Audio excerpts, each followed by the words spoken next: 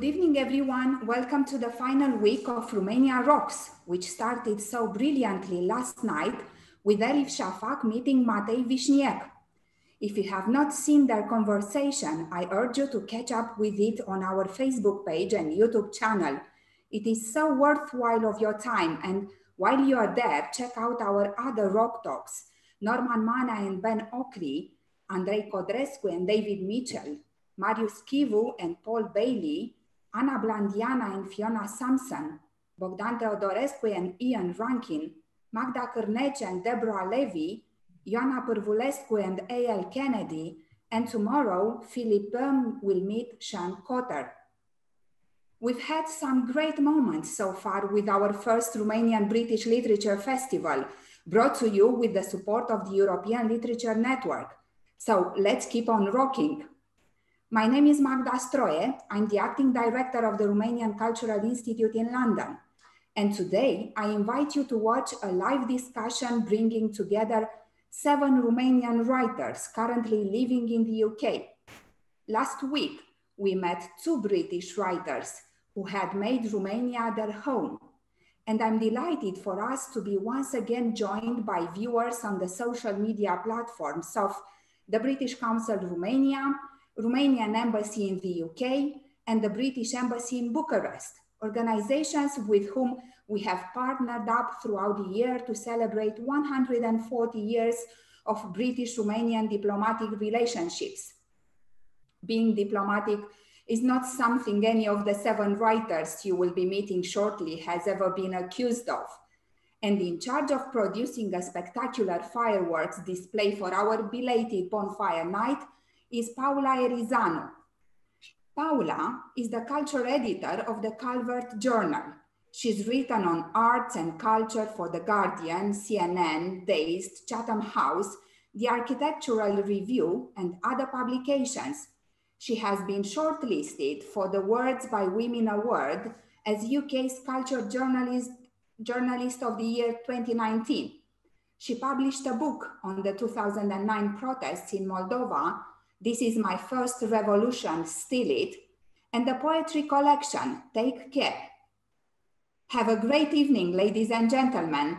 Paula Erizanu, over to you. Thank you, Magda. Hi, everyone. it is my pleasure today um, to introduce today's guests. Um, I will try to be brief, but um, we are quite a lot of uh, women writers here. Um, so Stela Brînzeanu Stela, could you wave, please? Um, yes, uh, is a Moldovan British writer and poet. Her prose explores issues of identity, belonging, uh, women's emancipation, and women's rights. Um, she has published um, a, a, novel called Bessarabian Nights, which um, uh, deals with a, a difficult uh, topic, and that's um, human trafficking um, and sex trafficking, but today she will um, read us some extracts from her new novel, which I'm looking forward to. Vica Demici. Vica, can you wave, please? Um, is a London-based um, poet, songwriter, and author of uh, four books of poetry and short stories. Um, she writes music and has authored uh, the song "A Century of Love," which represented um, the Republic of Moldova at the Eurovi Eurovision International uh, Song Contest, uh, Contest in 2008. She's also written the lyrics for um, Doga's Waltz and um, um, and is a UCL graduate in international relations and works in diplomacy. I don't know how she manages to do it all. Uh, Ioana Morpurgo, um, can you wave, uh, Ioana? Um, Ioana studied literature and cultural anthropology. Um, she has researched the culture of transition in post-communist societies at Exeter University in the UK. She's written three novels, um, as well as articles, essays, and, and short stories. Um, and in 2016, following the Brexit referendum in the UK, she organized a series of lectures and public debates on uh, what unites us um, in, in Europe. Uh, she's also an activist of human rights and the environment. Um, and um, what is interesting to me is that she's also a member of the Green Party in the UK. So I, I will ask her something about that um, a bit later. Uh, Cristina Mureșan, Cristina, can you wave?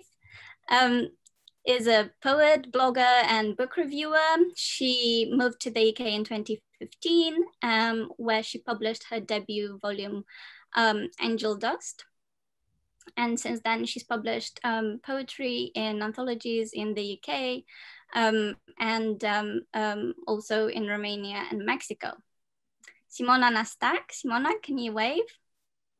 Is an art curator, critic, and poet. She studied art history and theory in Bucharest and holds an MA in creative curating from Goldsmiths University. She has curated um, exhibitions and live poetry events in London, uh, Seoul, uh, New York, um, Berlin, Brussels, pra uh, Prague, and so on, uh, featuring artists such as Anish Kapoor, um, Jaap Blonk, and Dan, uh, Dan Perjovschi, among others. Uh, in 2017, she published um, um, her volume of poetry, The Depressing Color of um, Honey, which won an important award um, in, in Romania. Um, and she's performed at various festivals across the world. Andreea Iulia Scridon. Um, Andrea, can you uh, wave? Is a Romanian American writer and translator. She was born in Romania, but she emigrated with her parents in the, uh, to the United States as a child and grew up in Florida. She studied comparative literature at King's College London and creative writing um, at the University of Oxford. She um, is assistant editor at Asymptote Journal a fiction editor at the Oxford Review of Books, um, and um, she um, has published um, work in World Literature Today, Oxford Poetry, Asymptote Journal, and um, um, and has also written a novel set in the 18th, in 18th century Romania and a book of poems inspired by um, George Enescu's compositions. And uh, finally, Anda Vahnovan. Anda, can you wave? Whose birthday it is today. Um, so um, a happy birthday to you and thank you so much for joining us on this special day. Um, Anda was born in Chisinau in Moldova. Um, she later graduated uh, from Babeș-Bolyai University in Romania, specializing in journalism. And um, uh, she ran a business in Cluj-Napoca in Romania for 12 years and has migrated to um, London in 2017, where she started a literary blog. Um, so without further ado, um, we will start with um, an open discussion where I will ask um, two uh, questions to the floor and everyone is welcome to, uh, to contribute. And then uh, we will move towards um, more personalized um, uh, questions and um, readings um, from um, our guests' um, works.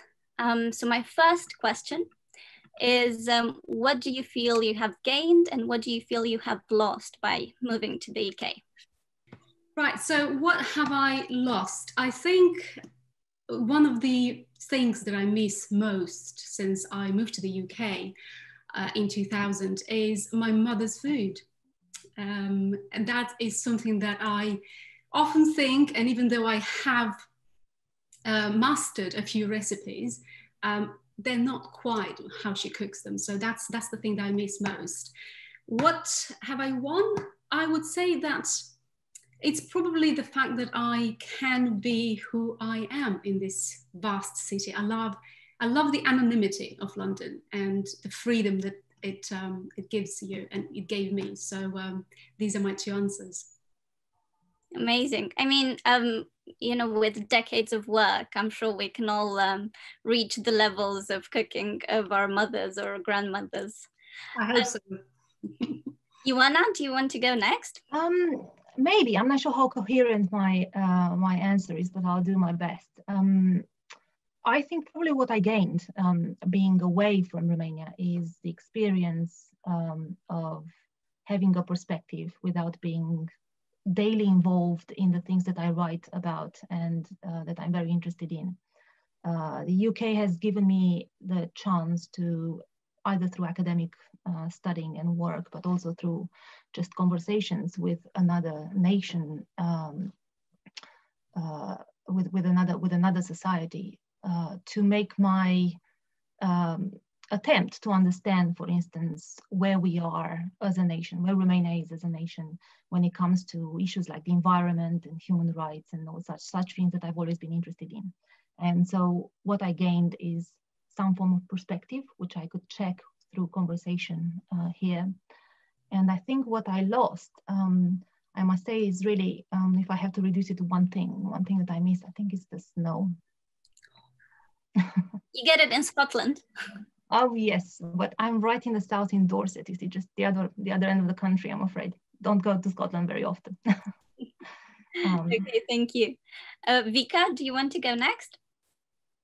Uh, you know, I moved to London in 2012 for a master's degree, and uh, I still don't know what I lost because I was coming here for one year only, and uh, I wasn't planning to stay after that, let alone moving uh, my my son here for his education later. But little did I know at that point. So I didn't have time to think about losing anything because everything was just uh, an amazing experience. Those 12 months in London in this cultural hub gave me so much joy and uh, uh, so much culture and knowledge and new friendships that uh, I didn't even have time to think about having lost anything. I think I only gained uh, a new life and it's a new experience and a new level.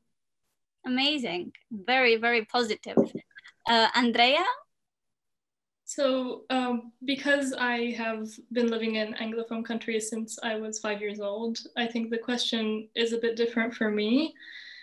And I wouldn't really know what I what I would be like in another scenario in the sense that there is no before and after um, in my situation.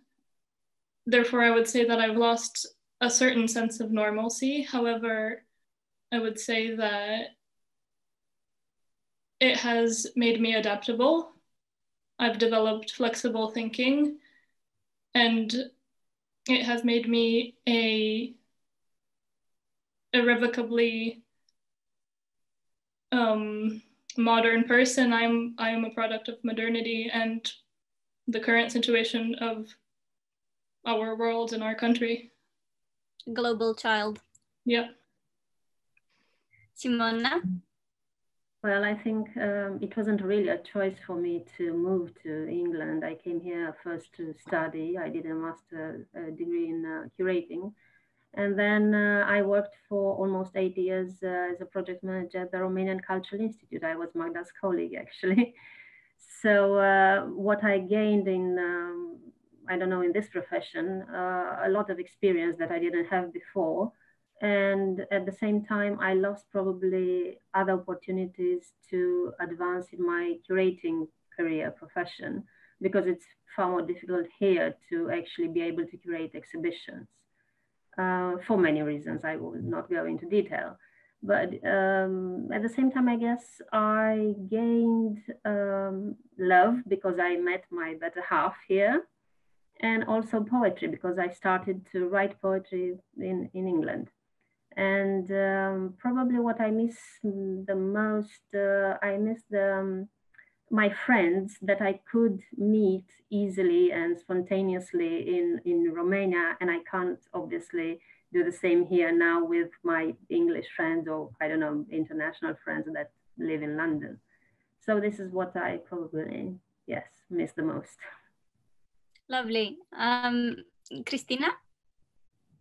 So um, similarly to Vica, I suppose, I, um, I came here thinking I would stay short term, but then I ended up staying much longer. Uh, I actually came here to publish my book. Uh, I was a blogger at the time in Romania, sharing my poetry and short stories on my blog. And then uh, luckily, my uh, English editor discovered my blog and we ended up collaborating and we ended up publishing a book together. Um, at the time, I came thinking I would be here just enough to publish the book, but then life took over and I stayed. Um, and I'm, I'm not sorry, I, uh, I don't regret, I don't regret anything. Uh, so this is the country where I became a published author. So it will always mean a lot to me. Um, I, I, feel like I've gained a lot in terms of um, identity, if it makes sense. Uh, as my time here progressed and I integrated more and more here, uh, you kind of developed another identity uh, on a side of the one that you already had, the Romanian one, I should say. And uh, it's another culture that you that you know better and you learn so much from those values. And then it's a, it's a lot of value in comparing those two cultures and making the most of them. And then you grow as a person as much as, an, as a writer, I should say.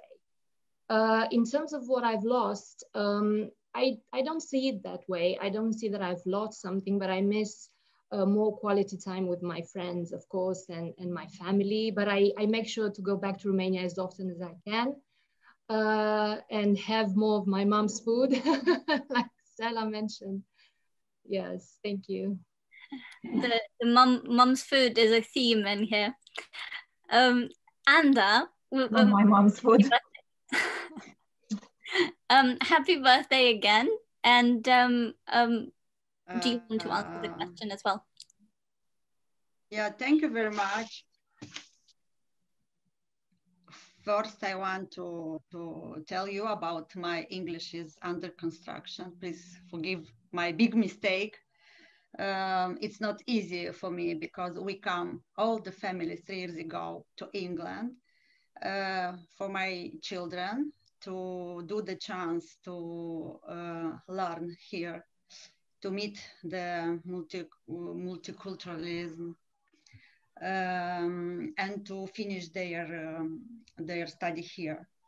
Um, like a parent, I understand that to grow up, to raise the children in the little country, little community, sometimes it's not enough in our time and we try the best for uh, for them and we move uh, uh, just for this reason uh, and if it's about me um, i um, i overcame my fear because um, uh, all my uh, children encourage me we'll be okay we we we just do to to try. If it's not okay, we can come back. Yeah. Um, maybe maybe the the um, Oyster uh, adaptation in all the family uh, it uh, it was uh, in my situation. It's not easy. I can imagine so. Um, thank you so much. Um, so uh, thank you all for um, for your very varied and um, honest um, responses. It's not um, an easy question. And then um, my next question open um, to you all is um, how do you find living and in some cases writing into languages? So in my own case, um, I came here to the UK to um, study first, and then I started working as a journalist. And so my I find that my English, for instance, is more academic and more journalistic, perhaps, than um, my Romanian, uh, where I feel more creative um, in, my writing. Um, and I was wondering to what extent, um, you know, you have come across differences in the way you express yourselves, in the way, um, in the thoughts you have um, in, in these different languages, and whether you know you have managed to develop um, a sense of humor in English as well, because um, um, there's um, uh, there's this saying that actually you only reach um, a degree of comfort in a second language once you actually manage to make other people laugh, which is not so um, so easy from from the beginning. who shall we start with? I think I, I for us, those who were born in Soviet Union, we got used to this uh, commute between languages and cultures.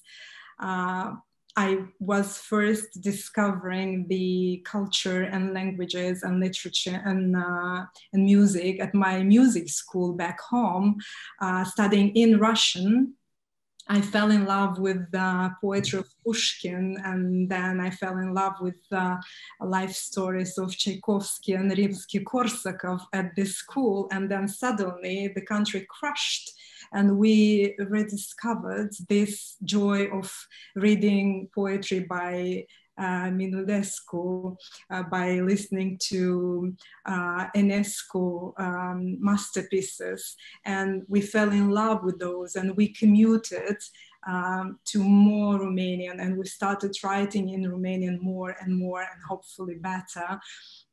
And then later on, when uh, uh, I joined the diplomatic mission, uh, I uh, I, I never studied English at school, nor did I study it at the university, but I met a lot of people who were speaking English at that job. So I commuted again and um, threw myself with a lot of enthusiasm in uh, um, um, in adopting this new language and this culture and the books that they were recommending because I was extremely lucky to uh, to work with great minds who inspired me and pushed me up. And this is how I ended up in this country by following those advices and um, and those uh, uh, inspirational minds that worked with me. And when I moved here, I realized that everything that I knew before, I have to just forget because I have to become really cerebral here and uh, use the few words that I know in English in order to say a lot of things that my mind was trying to uh, to to convey as a message. And uh, this became really mathematical, and this became really a challenge. And I was always trying to make sure that people understand that although I speak with an accent, I can think without an accent. so again, this. Um, this commute into a new way of talking and a new way of writing, I think it was um, another echo from what we are used to since we were teenagers and we were being thrown into another culture every 10 years. That's really interesting because um, I mean we're of different generations, and I guess I I don't consider myself as bilingual in Romanian and Russian um, as, as your generation does. Um, but now we share the kind of the bilingualism in uh, in English and Romanian. Um, who would like to go next? I was just wondering whether uh, any of you have experienced the joy of this no man's land when you find yourself fluent in both languages and able to make your choice how to express yourself effectively.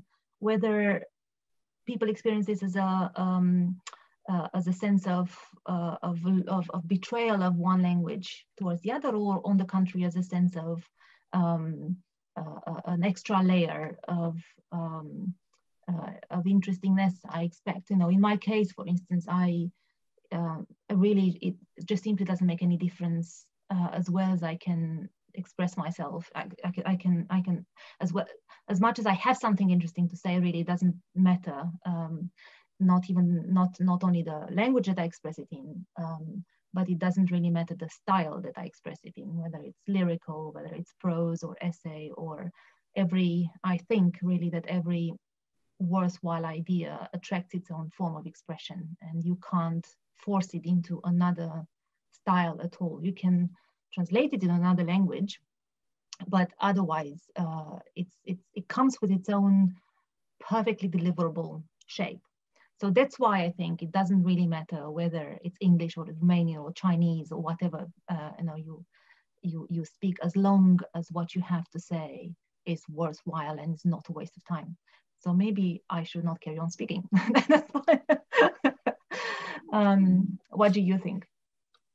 So if I may, if I may say, I quite agree with you, Anna, uh, on those lines. Um, for me, I, I found the commute between languages quite easy, I suppose, uh, because I was a multilingual child.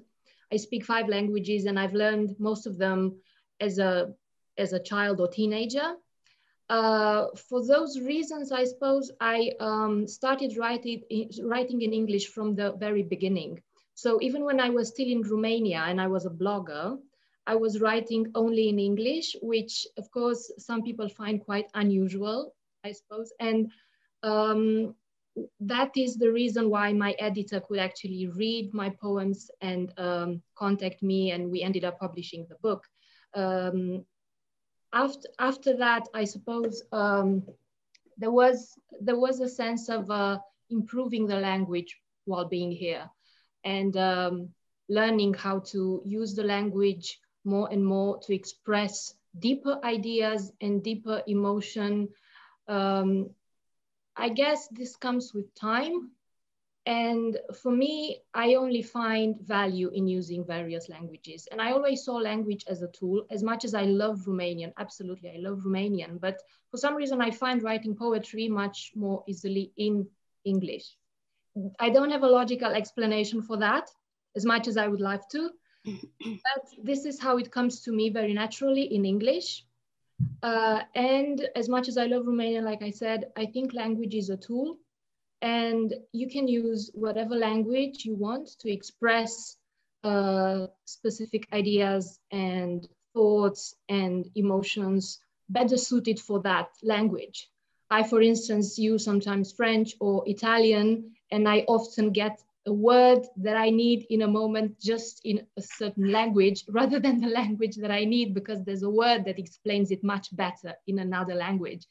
It's hard to explain, but anyway, this is my uh, this is my case. You're very lucky if, if you're if you find it so easy to adapt from one language to another. It's amazing. Um, I was curious, Andrea, um, what your experience was, because um, to you, maybe English is more of a native tongue than Romanian is actually.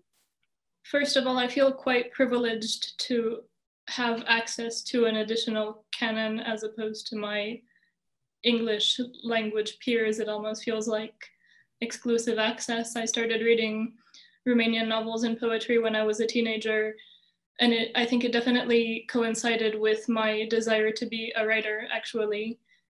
Um, but to answer your question, I would say that in equal measure to my identity problem, or lack thereof, I suppose, um, it comes very organically to me. I have found myself beginning a poem in Romanian and ending it in English and ending up translating it entirely in English. So that definitely works, I would say. Amazing. Um, so who else hasn't spoken yet? Um, Anda? Um, I, I can just compare with uh, Russia languages because I uh, grow up with Russia and um, it's not about English yet, yeah. Uh, but I, I understand uh, one thing, one important things. Uh, if you dream, and your dream is the Romanian languages, this is your languages. I never, in my dream, um, spoke in Russia. Why? Because it's not my ident identity. Yeah? Um, yesterday, Matei Vișniec uh, say some um, about um, his identity and um, said, my identity is Romanian language. Yeah? Uh, Matei Vișniec uh, speak uh, on French very good and English too. Yeah, but uh, we we now uh, tell about um, our languages, um, what we feel uh, more more deeper, more our. Yeah. Thank you. Um, and we have Simona. Yes, well, I started writing poetry in Romanian actually, and quite recently that happened in 2017. But before that, I used to write um, art reviews, exhibition reviews. So I wrote both in Romanian and English. And then at the Romanian Cultural Institute, I had to use both languages most of the time, actually, writing and spoken language as well. And um, I have a quite, I don't know, complex relationship with English because I'm not as fluent as I would like to be and not as nuanced as I would like to be. But this gives me an opportunity, I guess, to learn more about language in general because I check up uh, words, their meanings, the synonyms or uses in different contexts.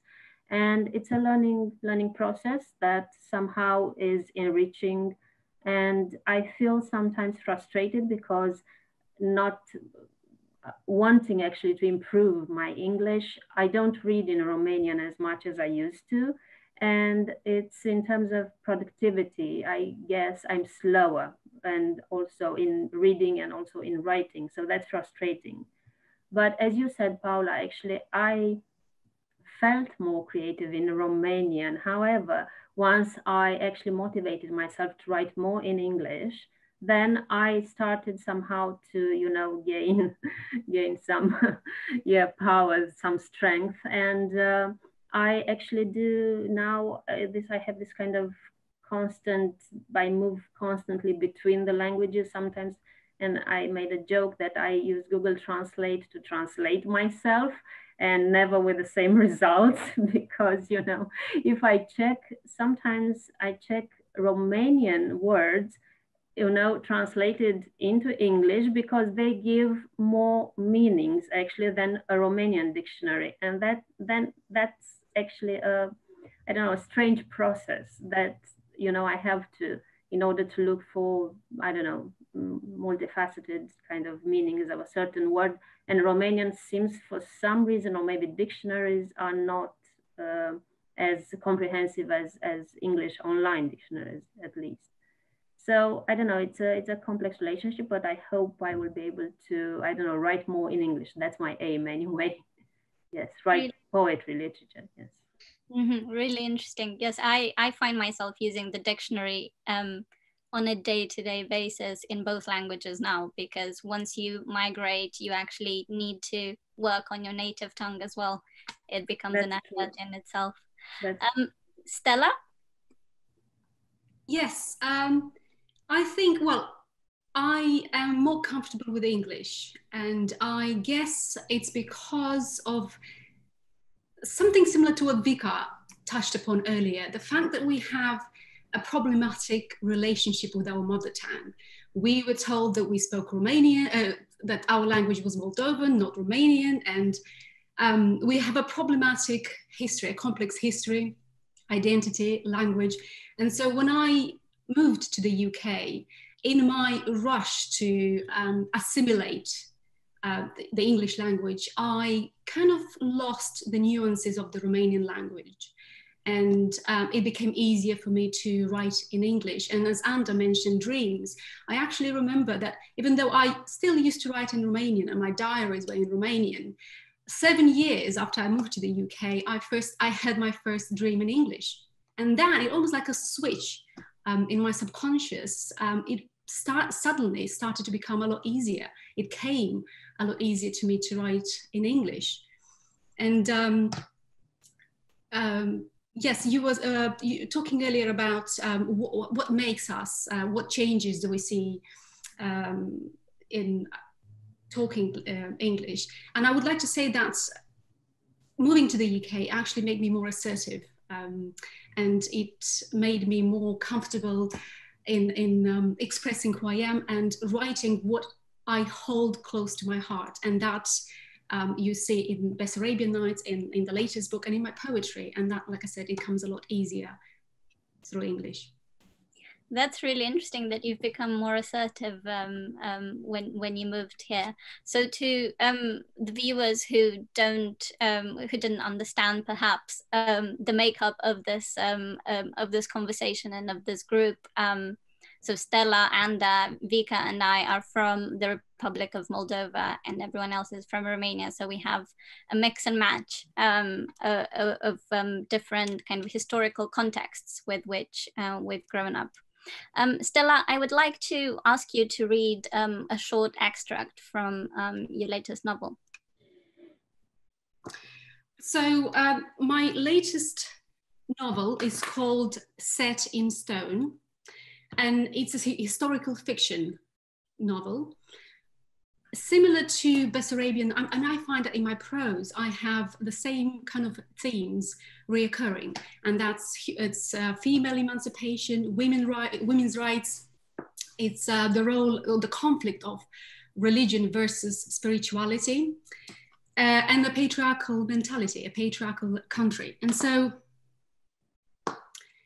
The extract that I'm going to read now, or previously in the previous chapter, right, I probably should say something about the book. It's um, set in uh, medieval Romania, and it's a book about two young women from opposing backgrounds who fall in love with each other, defying their family, the law, and the church. So in the previous chapter, we see the village herbalist, or as people called her a witch, Rosalia, saving this young woman called Mira from near drowning in a frozen lake. So in this extract, we see Mira ready to go home after she um, had been looked after by Rosalia. Mira doesn't know how many days she's been in Rosalia's hut, but one morning she wakes up no, with no pain. The heavy fog has lifted from her head, and if it wasn't for the ugly gap in her hand, she would have thought it was all about dream. She's getting ready to leave, and because Rosalia, who is busy crushing strips of bark with a stone, hasn't said anything, Mira decides to ask the question outright. Will I be able to make pots? It's the only thing I know what, how to do. It will take some time to get used to it. Get used to working the clay again, or get used to being maimed and useless. The old woman is answering her questions by not answering them at all. Sorry about all the trouble and thank you for saving my life, she says and turns for the door. It's your father you should thank. He has certainly learned from his mistakes. How's that? So the meadows were awash with wild ponies that day, their royal red spilling whichever way you looked. I was in the midst of a special ride, but I couldn't focus on it because your mother's cries filled the air. I turned up on your doorstep with a bunch of herbs to help her get through it quicker, but your father wouldn't let me. He said, Lord Jesus Christ would soothe and protect his wife. Rosalia had finished crushing the bark and is scooping the coarse flour into a pot. Please don't judge your father too harshly. He loved your mother. It's just that he prayed for a miracle instead of accepting my help. You know what people think of me. He should have asked my mother and let her decide. The words catch in Mira's throat. Did you know her? What was she like? You have her looks, same green eyes, grain colored hair, even the wee mole above your lips. And you have her fire too. I used to meet her in the woods often when she gathered pine wood for your father's kiln. Tiny yet feisty she was. Her bargaining with Boyar Constantine for the price of wood was legendary. Without her, your father wouldn't be the potter he is today. And that's the point that I make in the book that very often throughout history, women have been in, in the shadow of men, and a lot of um, important things and groundbreaking work that women have done um, have not, they have not received cred credit for it. They have been robbed of recognition. Thank you so much, Stela. Um, how um, I'll I'll just ask you one question. How do you uh, come up with with the ideas for your book? So your first, your debut novel focused on um, sex trafficking, um, and this one is set in medieval Romania. Um, how how did the ideas come about?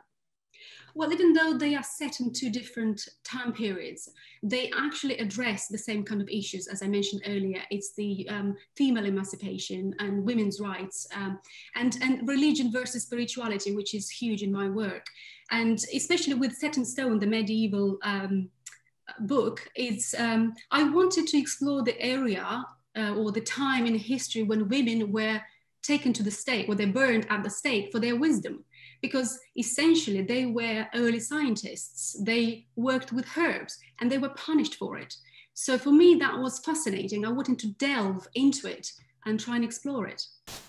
Thank you so much. We're going to go to um, Simona Nastac now.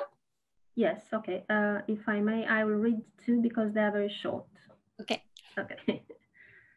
Prayer. The bare feet walk in your footsteps on salt water, and fire. Lianas and bats spring out of my thigh. Breasts burst with rootstocks, fish, and honey. Three hearts are crossing your path. Let's take our offspring to kindergarten. Feed them stories, tulip bulbs. The battlefield will blossom polychrome like a painting by Van Gogh. Father, give us our daily bread the bacteria of happiness, and forgive us our trespasses. Words last longer than flesh. And the second, untitled. I have a white simple shirt with no pockets, but buttons, embroidery, etc. Nothing at all. Has a spare button inside out. It's useless. A poem. Thank you, thank you so much. Um, I'm really um, interested in how you came to write poetry because you said you started writing poetry in the UK, but you wrote in Romanian. How how did it all happen? How did you move from art curation to poetry writing, and how did the two communicate in your life? Well, it happened quite spontaneously, and so it wasn't planned in any way. And I wasn't really reading poetry. I was organizing poetry events, though, at the Romanian Cultural Institute. So, therefore, of course, I met poets and I read their poetry at least. And um, it happened like uh, on the move, on the bus, going to work, really. And my first poem was written in English. So it came naturally to me in English. But uh, then I continued and in both languages and I decided to publish in, in Romanian.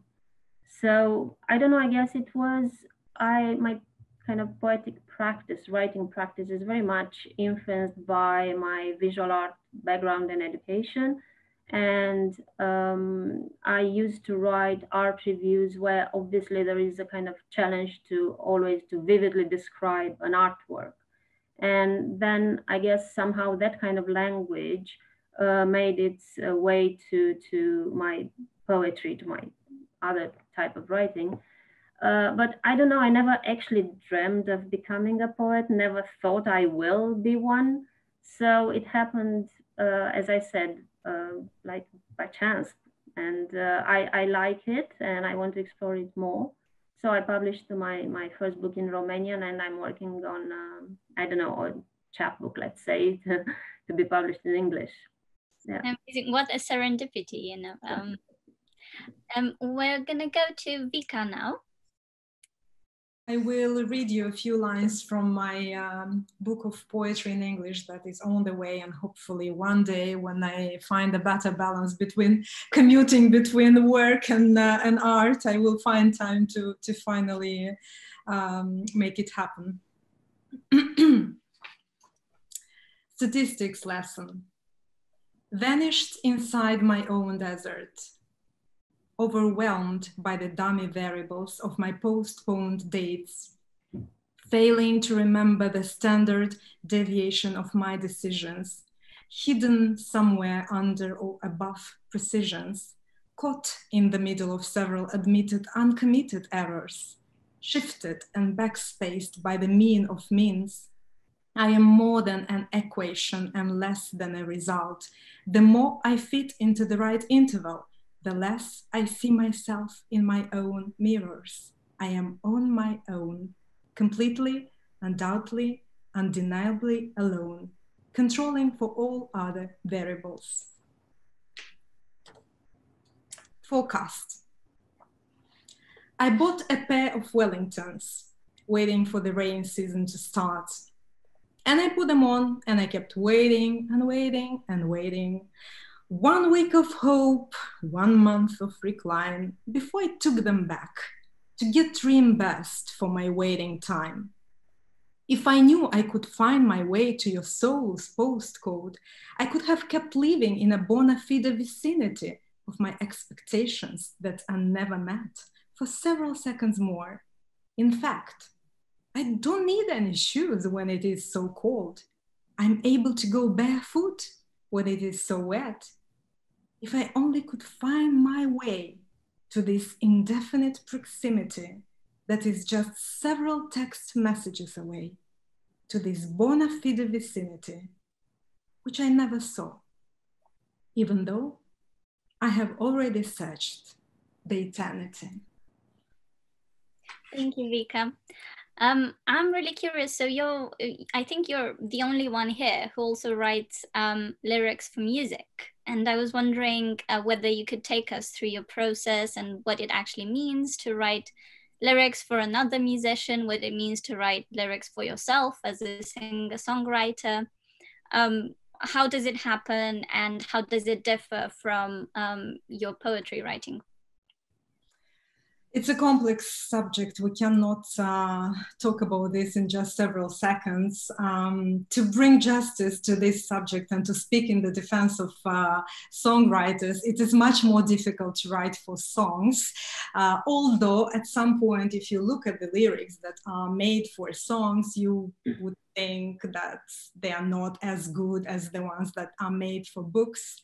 Uh, and because I did both, I wrote poetry for my books of poetry before, and I worked with artists to create songs that would match the exact length of the line, the music line that would only have that number of words and uh, that rhythm that is required. I feel it is much more complicated and it's much more mathematical. Uh, you cannot add uh, too many words when the track is only that long and uh, you have in the end, uh, you have to be able to look at this and have a perspective, and this has to make sense. It has to be about something. You have to convey a message, and uh, it's it's really complex. Um, it, it depends who is singing. You have to uh, know the artist. You have to know what they would like to to to sing about. Um, it's um, it's always um, uh, a process of cutting and amending and chopping uh, the lyrics that first looked like uh, a poem. Uh, you just transform them and you make them really geometrical in order for them to fit the music track, but to still make sense. And you you have not to be selfish. The writer who writes for songs doesn't have to be selfish because you have to be um, able to understand that you chop your words and you amend them for a greater good, for, for something that will be uh, an end uh, project, an end product, the song that everyone will listen to and uh, will feel the magic that only comes from this um, collaboration that you have between the, the songwriter, the composer, and the artist. So it's, it's really complex. We'll have to have another, uh, another talk about that. I think you've explained it quite well, actually. Um, I can see a guitar in your um, in your background. Uh, how often do you do you play it, given that you have a full time job well, I, I wish I could play more often, but um, I also have a piano and it's uh, it's well hidden so that I don't see it too much, and I, I have more time to focus on what uh, the the financial capital is not allowing us to be too artistic. You, you're always in a survival mood here, and um, I wish we could have more time to to create more art and to be able to build bridges between our cultures and people from those countries and this country. But uh, uh, we have what we have, and uh, and we do our best with it. We, yes. Thank you so much, um, Andreea. Would you be so kind to um, to read? Um, if, if you could read one um, one text rather than two, that would be um, very helpful because I think we're running um, out of time. So I usually don't write social poetry. I consider myself more of a lyric poet. But this is a poem that I wrote with a sense of compassion for children who are bullied for where they come from and for the child I once was. Romanian has become the day's Dadaist crack. Your ears, the single Romanian pair in the room, have grown enormous knowing as Buddha and rooted as Banyans. They have a better acoustic system than Carnegie Hall, and the final chimes of derision or shame hit against your timpani like droplets of rain on the windshield in traffic as mama drives you home from school. Now, whenever someone asks where you're from, your own eyes are factory glazed with a protective layer of irony. It makes for a charming, exotic effect, someplace between Latin and Slavic, these two prudent agate stones, with which you throw suspicious glances like arrows of love. But in the evening, after you've returned to your counterfeit home, you lie in the dark and watch Nadia's Perfect 10 on YouTube, granulated by pixels and time, the golden bird still lovely after its desecration. Thank you so much. Um, so you have a really interesting um, life story. So you've left Romania quite early. You've lived in the US. You studied in the UK, and now during the uh, the lockdown, you are in Romania, right? Yes, um, that's right.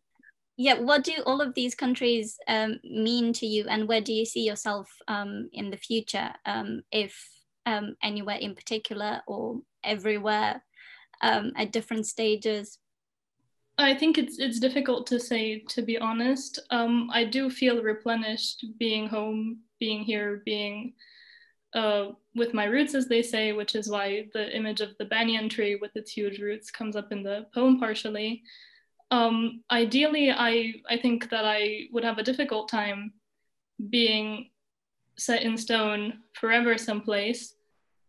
Uh, but I suppose one has to be pragmatic and see what what will be the best possibility. However, um, having lived in so many places, I am a big believer in destiny, which I think also maybe has contributed to my formation as a poet. Very interesting. Um, and you've recently translated the short stories um, of I. D. Sârbu and the poetry of uh, Coșovei. I was wondering how that experience was for you, because you said that for you, Romanian also means um, having an access to a canon that um, your American and British friends didn't really um, have access to. So um, yeah, I was just wondering how that experience was for you and what um, translating um, kind of meant for you. So it was an amazing experience. It really riled up my enthusiasm, and I, I became so involved that I would recommend translation as a form of developing your own writing to any any poet who is able to do so. Particularly poetry, I would say. After all, fiction is is a bit more difficult.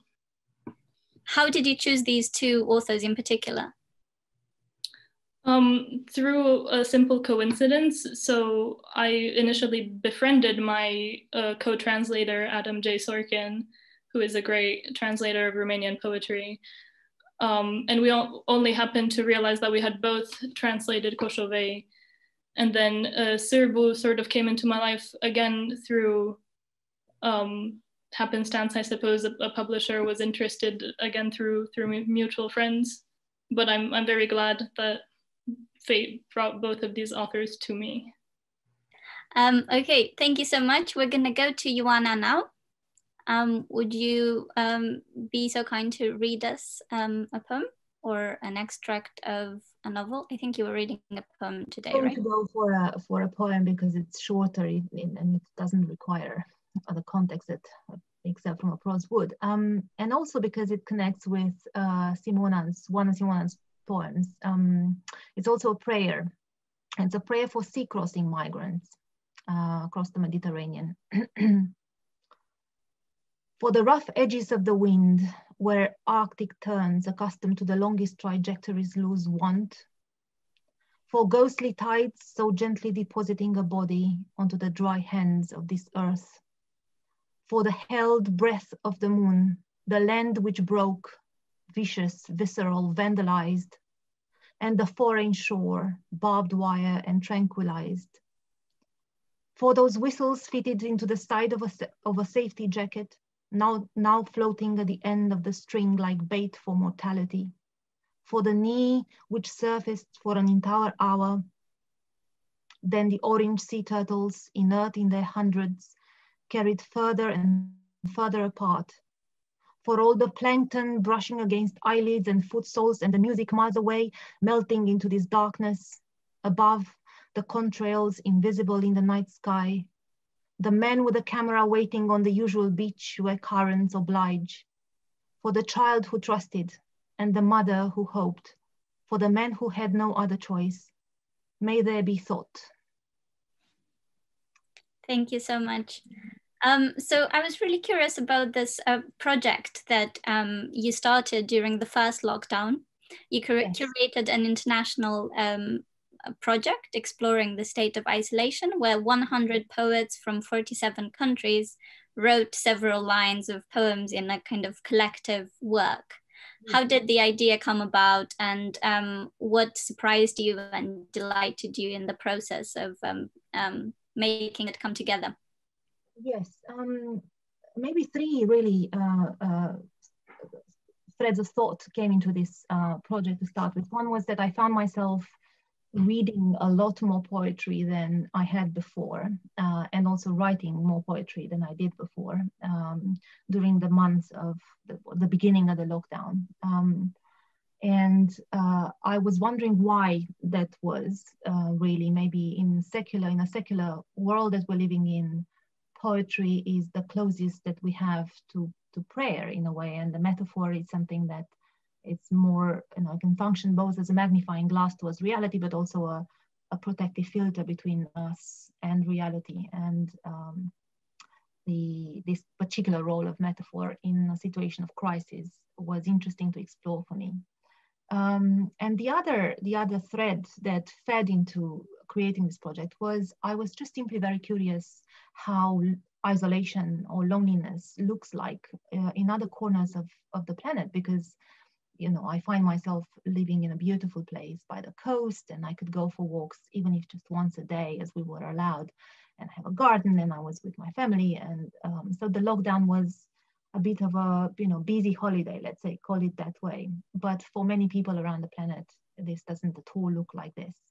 And in fact, one of the, one of the poets in, in uh, Airborne Particles, uh, collective poem, was describing to me in an email how it feels to live in Bombay, a city of 20 million people, where that is now completely was completely deserted and um, you know quiet. Uh, how how eerie that was, how strange that was.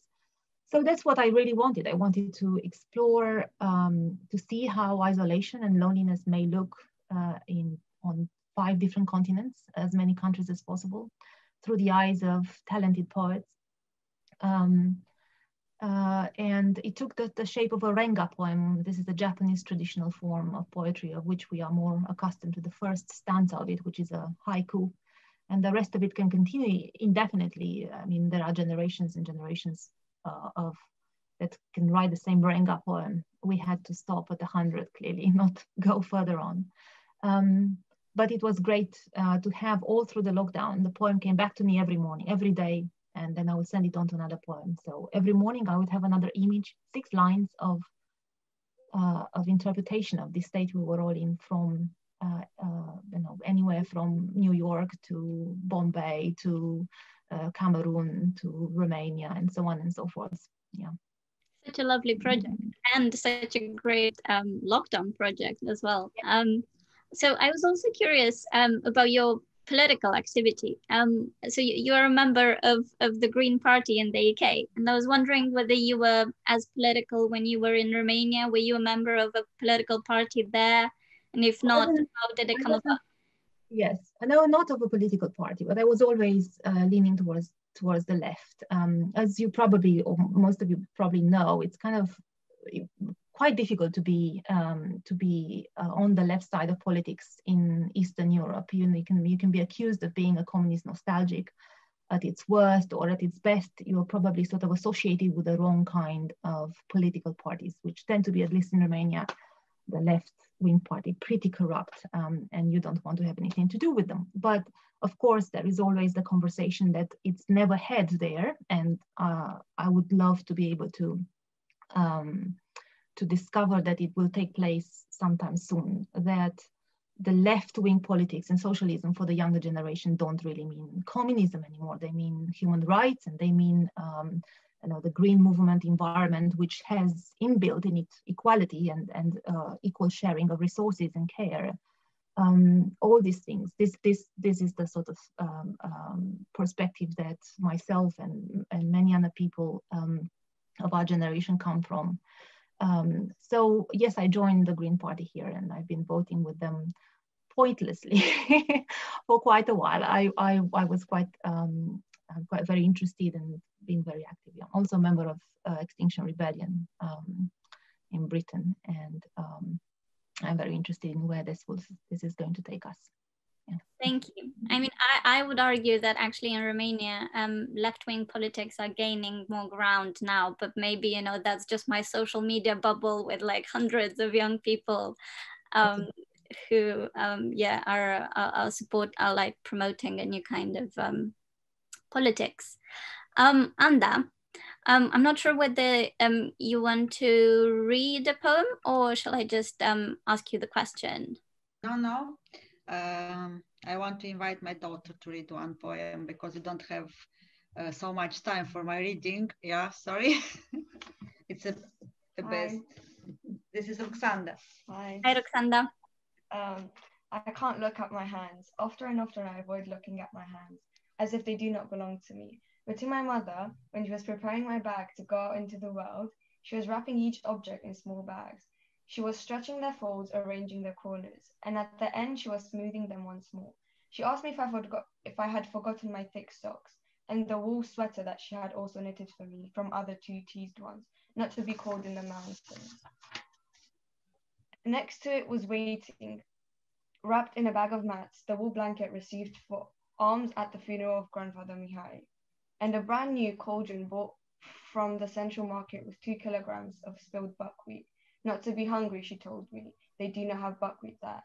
She put them together and tied them with a string. She stretched their folds and arranged their corners, and she smoothed them once more. The last thing was the long nightgown, which she sewed for me before I left. Wear your laps with dignity. She left it written with a pen on the inside of the nightgown. She joined me to the train station in one October morning.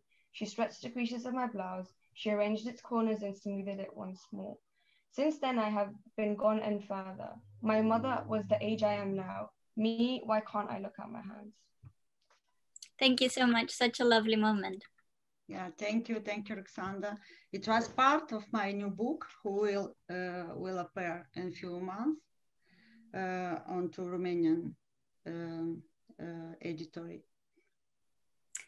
Sweet. Um, so, Anda, you have kept a diary of your life in London since you moved here in 2017. That's also the year when you published your first poems. And in a recent entry on, on your blog, you say um, that things that surprised you about the city at the beginning have now become ordinary. Um, how, what has writing meant um, to you getting adapted to life in a different city and a different country and a different language? Um, first, when I uh, I um, I come, I don't have um, no expectation. I just want to to live, to observe, to write about all is new, all is different. All the people ask me, um, uh, how is the school? How is new? What is the different here? And uh, this is uh, is the reason why I uh, start to to keep that diary um, all the month uh, because for myself first I understand that uh, it's um, this multicultural uh, society uh, mean to accept all the difference, not to say oh is a stranger people. Why stranger? Because it's different uh, if the people have another um, another opinion, another behavior, uh, sometimes we compare with our behavior, with our opinion, and I understand it's not about true or not true. It's about uh, different, and we need to accept uh, that. Um, all the people ask me about why on my blog uh, I all the time um, write just the good things about uh, UK because I mean just just a, a good things. Uh, this was my my uh, it, it, was my gift uh, from uh, England to me, to Romanian girl who come here and start again at 40 years old. Yeah, and um, I understand. I understand um, how much people who don't live uh, never their country uh, can't understand and accept a different uh, life of style of life. Uh, I try uh, on this blog to explain it's normal to be different. It's normal to have different uh, tradition, to understand different things, to have different decisions. this is how first I learn, and I try to, to translate um, in my blog to, to, to the people who who stay in Moldova, especially. But I have a lot of uh, a lot of people from Romania who read my my blog. Thank you so much. Um, and the final mm. um, reading tonight will be from uh, Cristina Mureșan. Thank you. Um, I'll be reading a poem called um, Verse, Color and Sound. Uh, it was published in a poetry anthology here in the UK. And just for a bit of context, it was inspired by uh, an experience I had during an event at the Romanian Cultural Institute in London. I think about inspiration and its source and how it takes me by surprise. Like the time I was listening to a live guitar piece by a composer I knew nothing about, too powerful and unusual to analyze. So I close my eyes and listen in deep silence, and a thought comes to me like a gentle wave. It says this music sounds like a Salvador Dali's painting. It makes me smile in its weirdness only to find out later that Dali and the composer had been friends. I try to understand where that thought came from. So I think about Carl Jung's archetypes and the unconscious, and about Einstein, who was simply playing in the garden when he discovered the theory of relativity. I know there is a link between my verse, Dali's colors, and the musician's notes. Maybe they are golden dust from a cosmic mandala that my brain is too small to grasp. So I settle for gratitude. Thank you so much. Um, so you said earlier that um, that you grew up um, multilingual in like five languages. Can you talk a bit more uh, about that, and then about your move to the UK and what what determined it? Um, and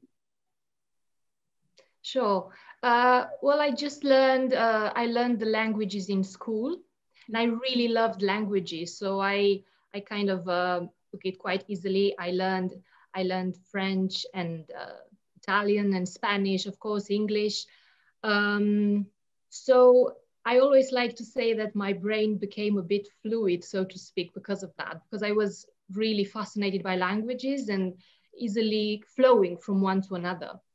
Um, later on, uh, when I moved to the UK, I think I mentioned earlier, it was just a serendipitous uh, moment when uh, I was a blogger and uh, my English editor uh, discovered my blog and he contacted me later on uh, and suggested we should collaborate and publish a book together. So I came for that purpose really uh, it was uh, it was a special uh, opportunity I thought at the time, and I still think so. Uh, so we managed to publish the book uh, about a year later. It took a bit longer than I had thought at the time.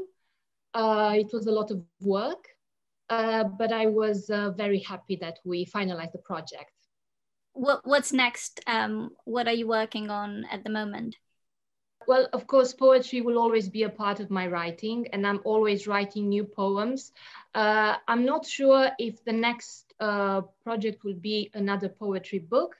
I've started um, playing along with playing with uh, prose a bit more, and I've started writing a novella, uh, which I had been um, uh, thinking about for quite a few years now. But I'm taking my time. Uh, like I mentioned earlier, I find it much easier to write poetry in English. But when it comes to prose, uh, it's not as easy. It takes a bit more time and uh, more structure. And so I'm taking my time to uh, get something really good quality out of that. Uh, and of course, uh, I'm also writing book reviews sometimes, uh, which I find really a good opportunity to, of course, read more, explore, uh, critical thinking and uh, yes, uh, it was a very interesting experience overall. Thank you so much, everyone, um, for your thoughts and um, um, and your texts um, and readings today. I really enjoyed um, meeting all of you, um, and I hope our viewers uh, have enjoyed it too. Um, I wish everyone um, a lovely night and a lovely rest of the week. Thank you. Bye-bye. Bye. Bye. Thank you.